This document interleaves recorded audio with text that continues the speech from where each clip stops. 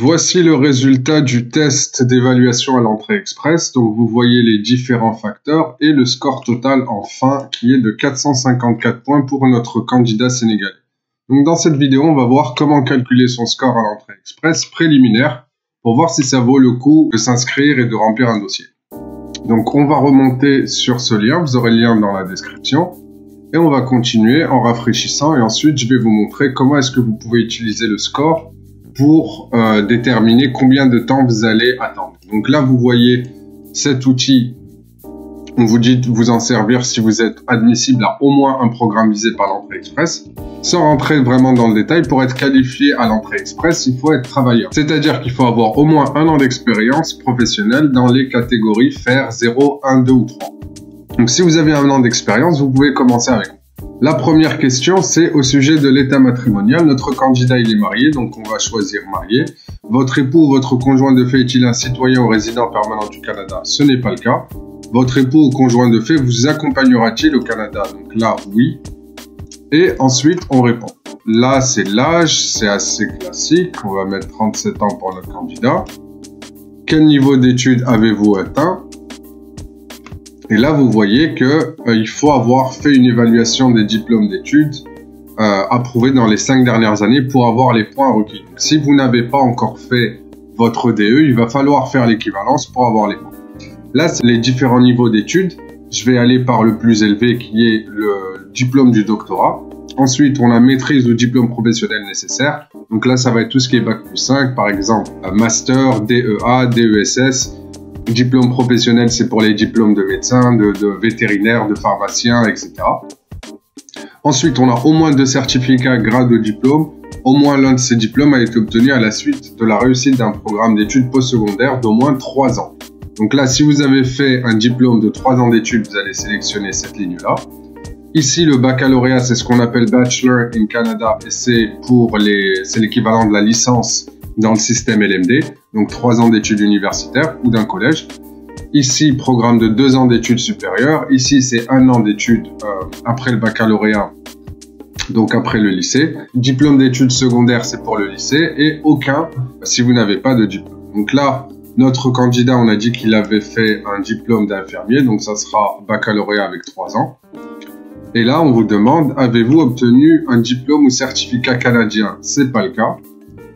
Ensuite, on passe aux langues officielles. Les langues officielles du Canada sont le français et l'anglais et on vous demande vos résultats de test linguistique. Donc là, vous avez vu que le test linguistique, il faut l'avoir fait dans les deux dernières années, sinon il n'est plus valide.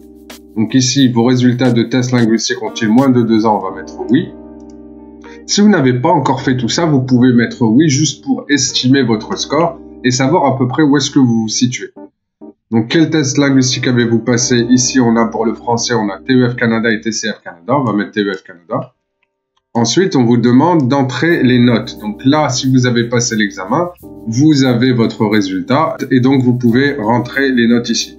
À savoir que dans les critères d'admissibilité de l'entrée express, il faut avoir au moins 7 sur 10 dans les critères canadiens NCLC et donc c'est 349 et plus ici.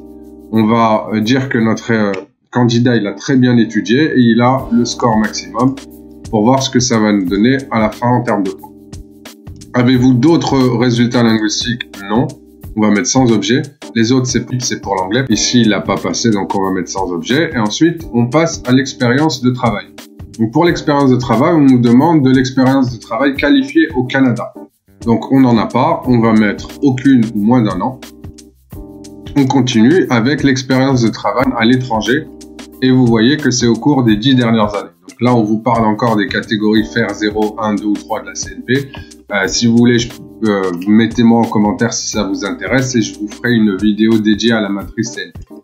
Donc ici, on va mettre oui, notre candidat, il a plus de 3 ans d'expérience. Et vous pouvez remarquer que euh, 1, 1 an, 2 ans ou 3 ans, c'est les seuls choix possibles.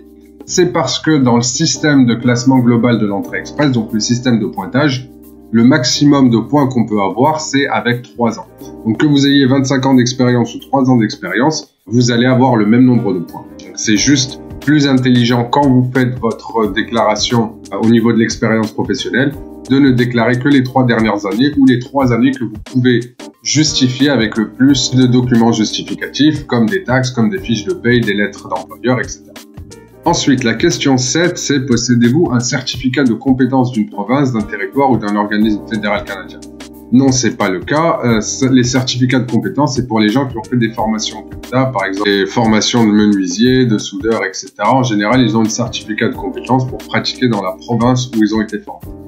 Et là, euh, on arrive à la dernière partie pour le candidat principal, qui sont les points supplémentaires. Donc, avez-vous une offre d'emploi valide appuyée par une étude d'impact sur le marché du travail?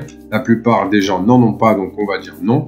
Et avez-vous un certificat ou une désignation de province? Donc là, non plus. Est-ce que vous ou votre époux, conjoint de fait, euh, avez au moins un frère ou une sœur habitant au Canada qui est un citoyen ou résident permanent? Donc si vous mettez oui, ça vous apportera des points en plus.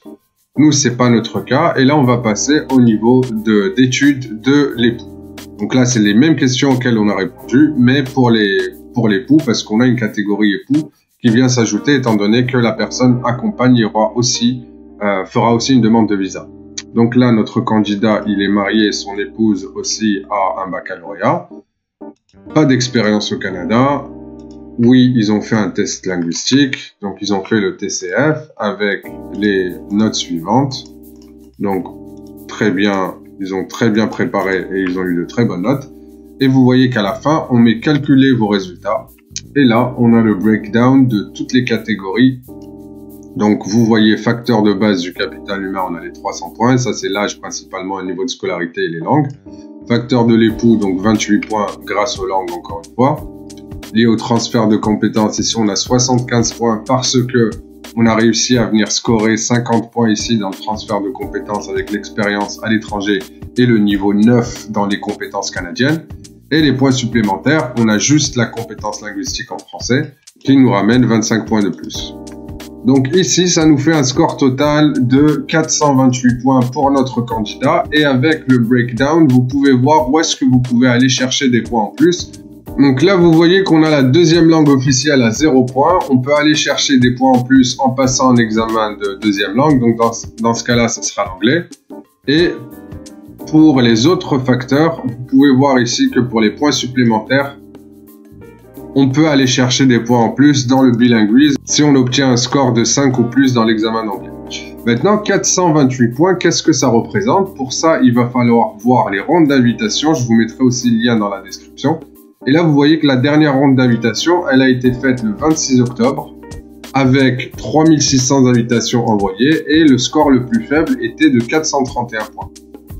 Ça veut dire que notre candidat ici, qui est infirmier avec 428, il n'aurait pas été invité parce que bien que le type de ronde soit spécifique aux professions de la santé et qu'il est infirmier, donc il serait concerné par cette ronde-là, il n'a pas le score nécessaire pour être invité à l'entrée express.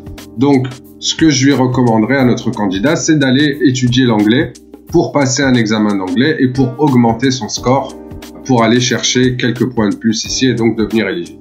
Voilà, j'espère que cette vidéo vous apprend comment faire pour calculer votre score préliminaire en entrée express. Comme je vous l'ai dit, cet outil et comme c'est euh, marqué par euh, le gouvernement, c'est juste à des fins de référence et d'orientation générale. Mais c'est quand même assez précis. Donc si vous répondez aux questions correctement et vous mettez les bons champs par rapport à votre score d'examen de langue et à vos études, vous devrez avoir quelque chose qui est très proche de la réalité du score que vous aurez si vous vous inscrivez à l'entrée express et vous remplissez un profil dans le bassin des candidats. Voilà, j'espère que ça vous a été utile. N'hésitez pas à laisser un petit pouce bleu et à vous abonner pour en savoir plus. Ciao, ciao